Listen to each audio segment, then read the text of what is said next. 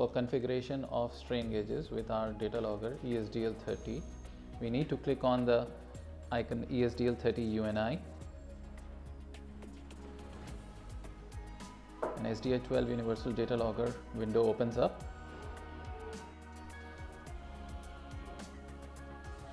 Click on connection icon. It will automatically detect the COM3 port. Click on connect. It will connect with the data logger. An open site window will pop up. Click on cancel. Go to file.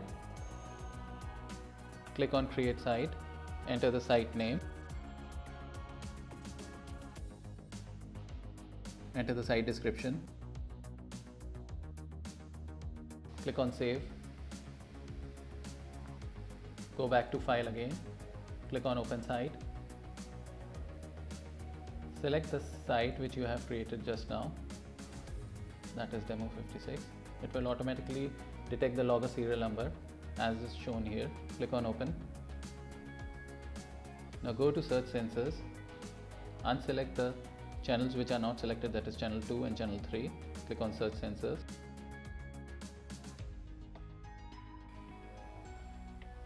Zero is being highlighted which is a default address given from the factory.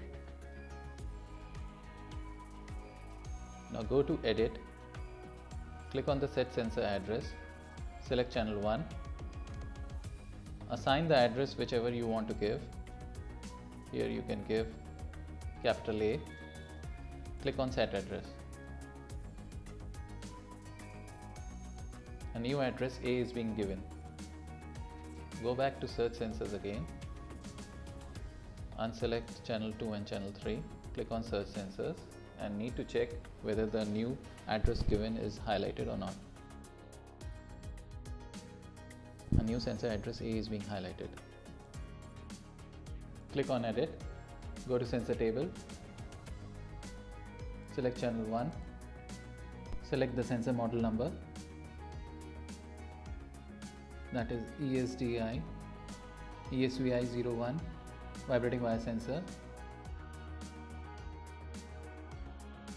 Enter the sensor serial number. That is A26042 you can give the sensor tag. Here we have given SG1 select the number of parameters that is 2 go to edit parameter units under parameter name. Select strain. Parameter unit would be microstrain. Go to second one that is temperature. Select the unit that is degree centigrade exit. Click on the next arrow button. Click on the back arrow just to make sure that it is saved. Click on update. Data logger memory erased successfully. Sensor table updated. Now go to configuration sensors. Go to ESDI ESVI 01 SDI12 interface for vibrating wire sensor. Click on the sensor configuration. Select the channel that is channel 1, select the address that is A, click on read, it will start reading sensor information.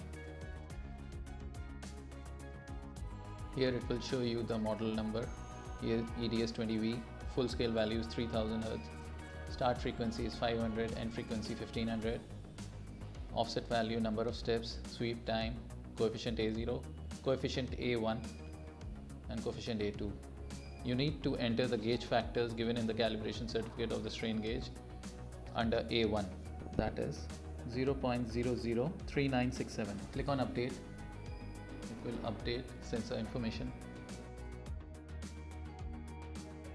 Click on ok. Go back to monitor sensor. Click on start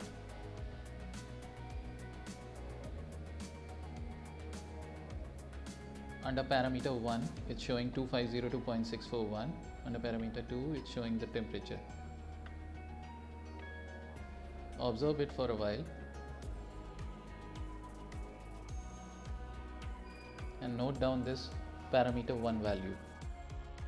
You need to enter this value under offset. Stop. Go to offset value and enter the parameter 1 value with an opposite polarity that is with a negative sign. Click on update. Sensor settings updated. Click on monitor sensors. Click on start. Under parameter 1 it's almost 0. Under parameter 2 it's showing the temperature. Click on stop and exit. Now go to logger setup. You need to set in the logger date, logger time.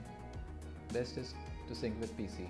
Click on sync with PC and it will sync with the PC or a laptop. The date and time is updated. Under logger settings, logger ID is given and SDI 12 bus power option. There are two options logger powered and external power. Here we are giving logger power with 3 volts batteries. So we will be selecting logger powered. Go to setting again. Go to GPRS modem.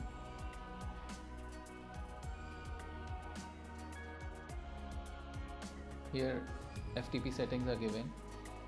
IP address, username, password. You can give your own username and password. And don't forget to enter the port. Click on update and you need to set in the upload interval time. Here we have selected 11 o'clock as the uploading time. The next uploading time would be 18 hours, a difference of 7 hours. And click on update.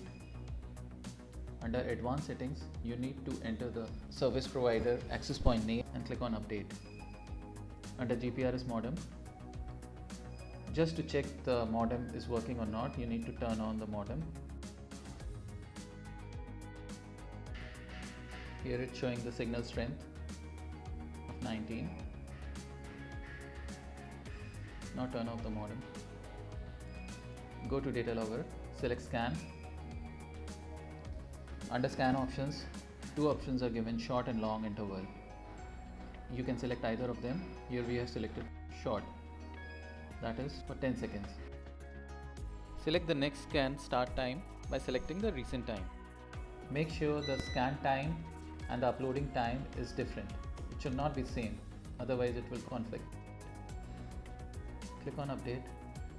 Scan options updated successfully. Under scan status, you can check in the scanning interval. You can check in the scan, scan data. Click on start scan is started, light from red has changed to green and status is showing on. That means scanning is started. Under logger memory, you can select either stop or overwrite the data and download header is being enabled. And you can download data by clicking the download data. After completion of configuration, don't forget to disconnect the data logger. Data logger disconnected. This completes the configuration of ESDL30 data logger with our strain gauge.